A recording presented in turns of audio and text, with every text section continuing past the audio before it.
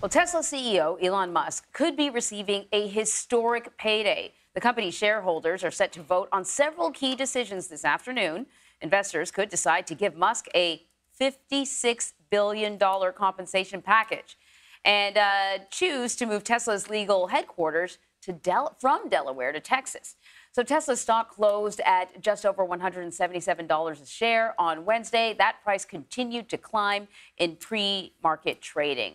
Alan Ohnsman is joining us now to talk a little bit more about today's meeting. He is a senior editor at Forbes. So there's this is kind of like a bit of a saga here, right? Um, and I should also say that I think a lot of this compensation comes in in stock, and the stock is not as robust as it was. I think maybe when we were quoting this 56 billion dollar number, so it might be you know, still billions. So, like, so it's billions. like 46 billion I, I, you instead. could survive on it. Yeah, yeah, right. Um, so what's at stake today uh, with the vote, and is there sort of any inkling about how this might play out? Because Elon Musk came out and said, "Oh, the vote's going to go in his favor."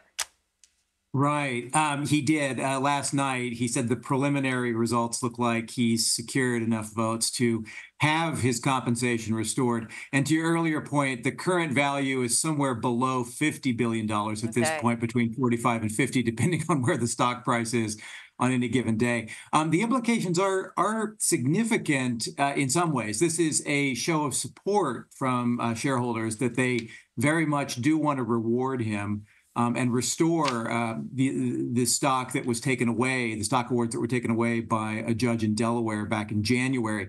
And in part, it's to, uh, as the chair of Tesla has said, keep him very motivated to, to focus on Tesla, to make it his primary focus.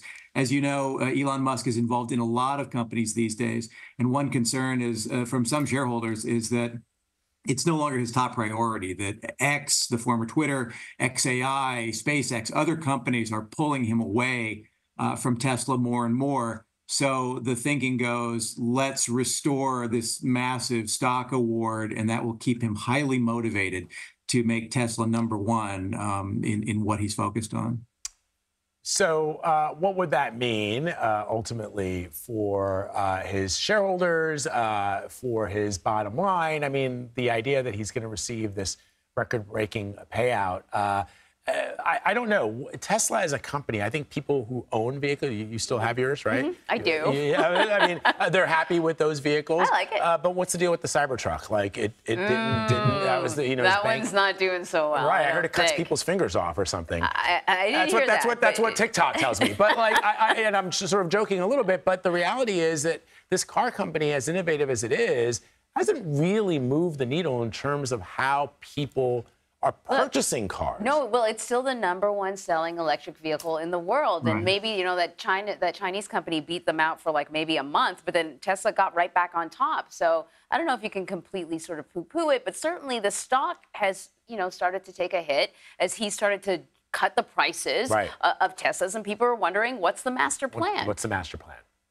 Well, that's that's a great question. Um, and to your point, um, the Cybertruck is not so far proving to be the big success um, he was hoping. Um, the big issue is affordability. Um, going all the way back to the beginning of Tesla, Musk had set a top priority of making Tesla an, ultimately an affordable car brand. Um, it has come down in price considerably, but it's still typically retailing in the forty thousands, mid to high forty thousands um, at the entry level. Uh, you mentioned BYD, which is growing rapidly in China. BYD is far more um, affordable, and that's a real challenge. There is some concern about whether Tesla is going to be able to um, move into a more mass market product, something starting perhaps in the high twenty thousand dollar range.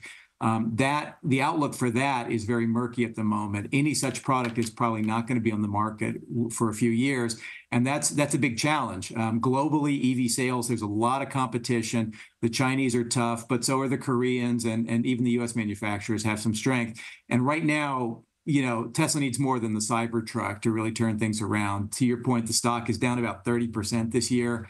Um, and uh, on the stock uh, vote today, or the stock award vote, it's really just the shareholders voicing support. Nothing immediately changes. Mm. Um, the judge's ruling in January will still stand uh, for the time being. Um, what's going to happen is the board would have to come back with an entirely new compensation award that would in, include um, the equivalent amount of, of, of stock that was taken away.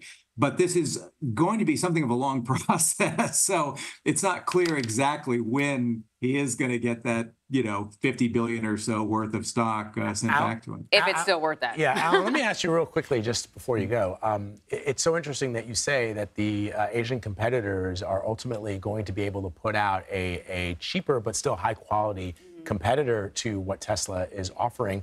I, I, I wonder if this is, we're, we're, we're going to see something not v- completely similar, but somewhat similar to what we saw in the 1970s and 1980s when Japanese car manufacturers started producing cars that were just as good as American cars, got better mileage, uh, and were cheaper. And here's the problem. Here's the challenge for China. yeah. Will they be allowed to sell those cars? Well, that's the question. But you also mentioned the Koreans Here, and I others, mean. right? So if they can produce those vehicles, then they can get them here to the consumers in the United States. Will Tesla have to come down in price, or at least produce a car that is a little cheaper than the ones that are now? Because the complaint that I hear is that they're too expensive. Right, and the parallel you mentioned is is a really good one. Um, you know, the Japanese in, in the 70s and 80s came in with um, high quality, lower price products, and and it really hammered uh, Detroit for years and years and years. The exact same thing I think we're seeing unfolding in the EV space. China has become, you know, the, the the place to beat at this point. BYD in particular is really doing some dramatic things in terms of product price, and that's very tough. We are, you know, passing uh, tariffs and, and, and implementing uh, rules that will keep out those products for the time being. But ultimately, it, it will put a lot of pressure on, on, on all EV makers and especially Tesla to be competitive in All right, Alan, thank you very much, my friend. Appreciate it.